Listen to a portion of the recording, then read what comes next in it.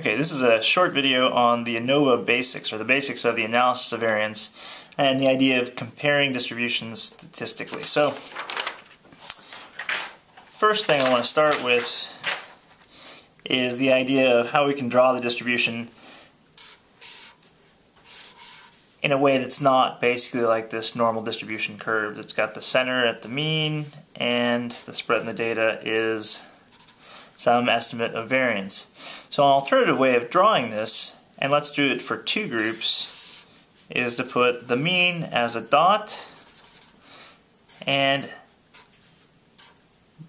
the variation in the data is represented as whisker bars. This is basically the same thing as saying here's the mean and here's the spread in the data. So we're just reversing it so that we can have a categorical axis, or categorical, categorical independent axis, and then our dependent axis on this side.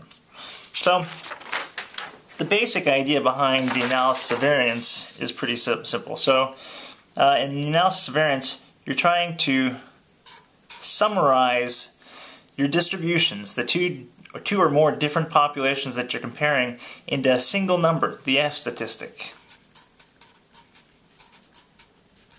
This statistic is simply a ratio of two things.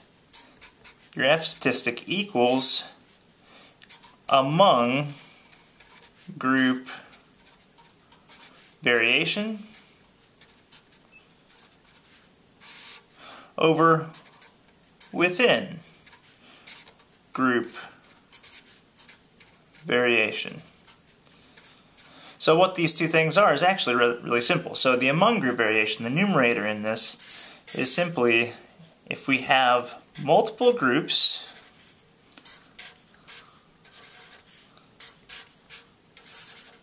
Here are three groups, group 1, group 2, group 3, with the big dot being their means. What we can also calculate is a mean for all groups. We'll call this x bar bar. This is the grand mean.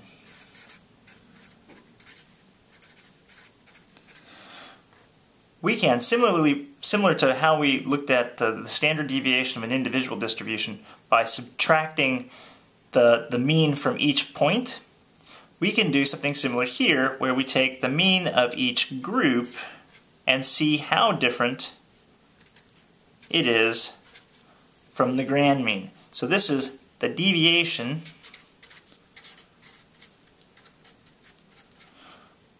of group means from the grand mean. So this is your among group variation. So let's just explore that very quickly. If you have two plots here. We're going to have three groups in each.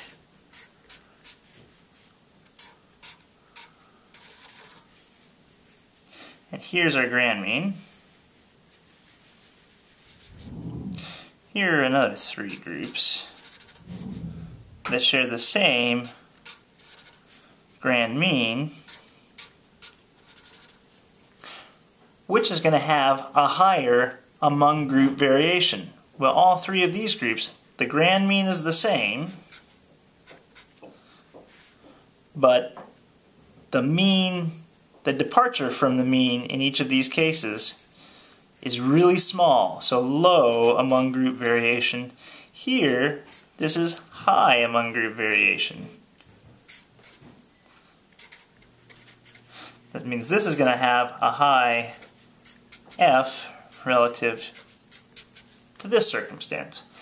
So that's the numerator. So a high f in this case is going to be driven by a high among group variation, the numerator in the uh, equation for f. So the other thing that contributes to f is within group variation.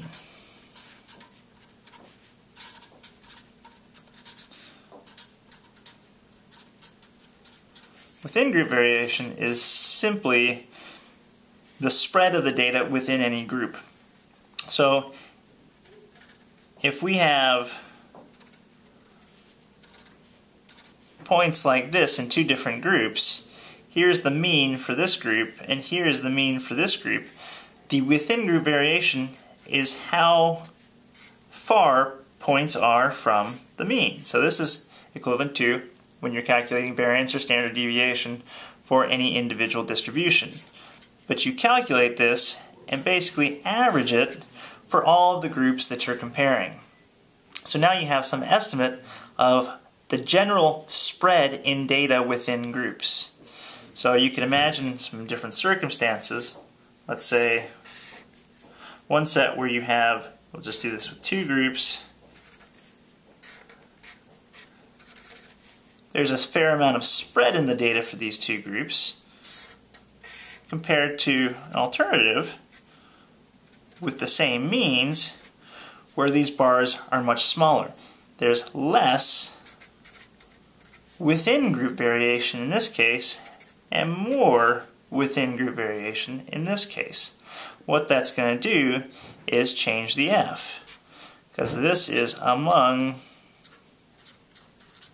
over within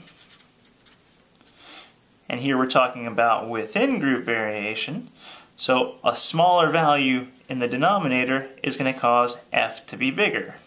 So big F, small f. So f is going to be bigger in the, the, the size of f is going to change based off of whether your denominator is increasing or decreasing and whether your numerator is increasing or decreasing. So just as a review, let's take four circumstances. Here we have two means, and here's the grand mean for this case. Here we have which of these two circumstances is going to have a higher f? Well,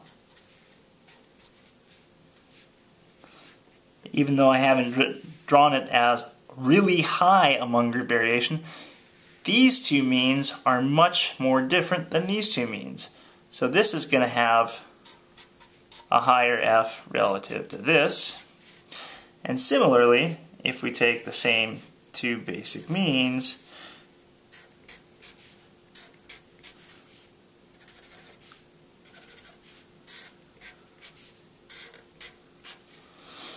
The within group variation is much greater here than here. High within group variation is going to make f decrease, here, increase.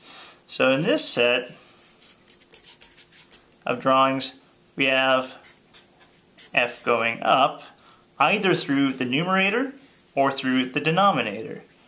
And in this group, we have f going down either through the numerator or the denominator. So one thing, one final thing to keep in mind, as described before, the basic uh, relationship between the f statistic and a p-value is as f increases, p decreases. So f is increasing as the groups become more distinct from each other. They're clearly uh, visibly different populations typically. And then the p-value decreases. And this, this is a, a simple relationship because your p-value is, again, the probability that the null hypothesis is true, and your null hypothesis is that the groups, whatever they are, do not differ. That is, they have the same mean. So, as this would be a very low f, meaning a very high p-value, a p basically approaching 1 or 100% probability that your null hypothesis is true. So as f becomes bigger, the more likely you are to be able to reject your null hypothesis. We'll have more details on the specifics of an ANOVA analysis in a later video.